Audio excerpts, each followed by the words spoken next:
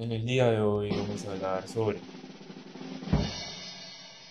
cómo fue la separación de Panamá de la República de Colombia. Pero antes que nada hay que ponernos en situación. La separación de Panamá del territorio colombiano resultó ser un episodio controvertido para los historiadores, pues existen diferentes versiones alrededor del porqué de este acontecimiento, aunque para muchos las causas más claras fue el abandono por parte de Colombia al territorio panameño y el grande proyecto de construcción del canal que involucraba a los Estados Unidos. La separación se dio oficialmente el 3 de noviembre de 1903. Esto significó la pérdida de 75.000 kilómetros cuadrados de territorio. Para la historia panameña, la proclamación de la República de Panamá fue un resultado de un proceso nacionalista y autonomista que se vino construyendo desde finales del siglo XVIII y que concluyó con la separación de Panamá y de Colombia. En cambio, para la historia colombiana, la secesión de Panamá constituye un atentado contra la integridad política territorial de Colombia, que fue ideado por los Estados Unidos en asociación con la oligarquía liberal ismeña de la época. Los actores principales de la separación fueron el presidente Theodore Roosevelt representando el imperialismo de los Estados Unidos de América, el abogado de New York William Crowell, Manuel Amador Guerrero y José Arango, y por último el vicepresidente José Manuel Marroquín. Uno de los grandes personajes de este hecho fue José Agustín Arango, político ismeño, que empezó a trabajar en secreto en la preparación del movimiento separatista, una junta revolucionaria clandestina que se formó en torno suyo para planificar una revolución destinada a consolidar la separación del territorio de la soberanía colombiana, para negociar directamente con Estados Unidos la construcción del canal, pero la parte operativa, la de mayor riesgo, le tocó a Amador Guerrero, quien viajó a Estados Unidos en busca de apoyo, para el plan, ya que las fuerzas norteamericanas habían ayudado en el pasado al ejército colombiano. También obtuvo en Panamá el apoyo de importantes jefes liberales y el apoyo del comandante militar Esteban Huertas. Con todos estos apoyos se concertó la puesta en marcha del plan separatista para un día no definido del mes de noviembre de 1903. Sin embargo, un rumor generado en Colombia estuvo a punto de dañar el plan. Informes recibidos daban cuenta de una supuesta invasión nicaragüense al istmo, sobre la costa norte panameña. Este informe y los, rumores incesantes sobre que algo se trama en Panamá hicieron que Colombia movilizara el batallón tiradores desde Barranquilla. El comandante de este batallón traía secretamente instrucciones para reemplazar a José Domingo de Valdía y al general Esteban Huertas, en quienes ya no se confiaban en Bogotá. El batallón de tiradores al mando del general Juan Tobar y Ramón Amaya llegó a la ciudad de Colón en la mañana del 3 de noviembre de 1903 no tuvo problemas para desembarcar, pero su transporte hacia la ciudad de Panamá sufrió muchos contratiempos por la complicidad de las autoridades de ferrocarril. Después de muchas excusas, el Estado Mayor pudo desplazarse hacia la capital.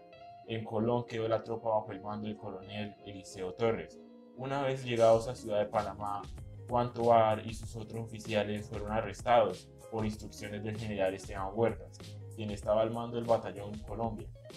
Al enterarse de la inminente acción revolucionaria, el comandante John Burdant del buque norteamericano Nashville, entonces en las aguas del puerto, y quien había retrasado previamente el desembarco de las tropas colombianas en Colón, procedió a impedir transporte y cualquier desembarco posterior, argumentando que debía respetarse la neutralidad del ferrocarril, apresado el contingente militar colombiano y congelada la movilización de las tropas en Colón, se apresuraron las acciones para declarar la separación del istmo. La Junta Revolucionaria procedió entonces a declarar esa misma tarde la separación del istmo.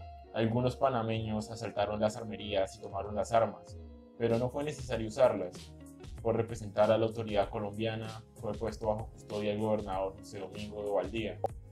El Consejo Municipal se reunió bajo la presidencia de Metro Grid y proclamó en un acta de voluntad del pueblo de ser libre y establecer un gobierno propio, independiente y soberano bajo el nombre de la República de Panamá.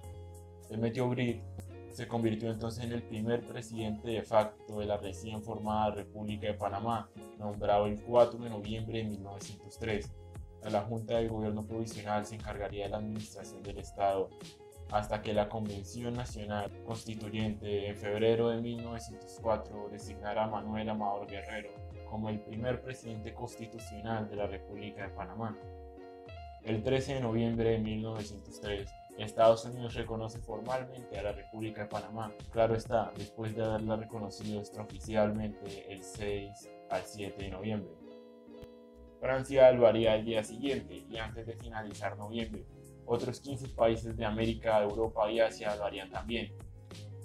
Para el 18 de noviembre de ese mismo año, el secretario de Estado norteamericano, John Milton White, firma en unión de Philip Bonao un tratado para la construcción del Canal de Panamá, aunque fue muy controvertido por la celeridad con que fue aprobado y porque Bonao se había propuesto a sí mismo como representante del gobierno panameño.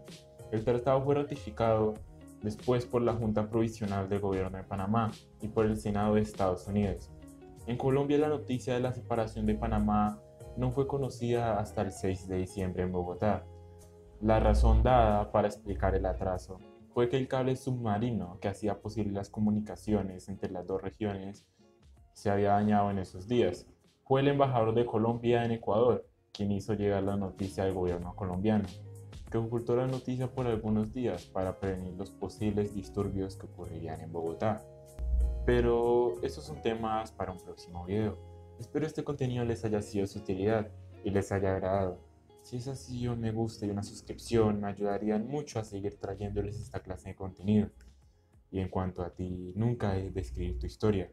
Hasta un próximo video.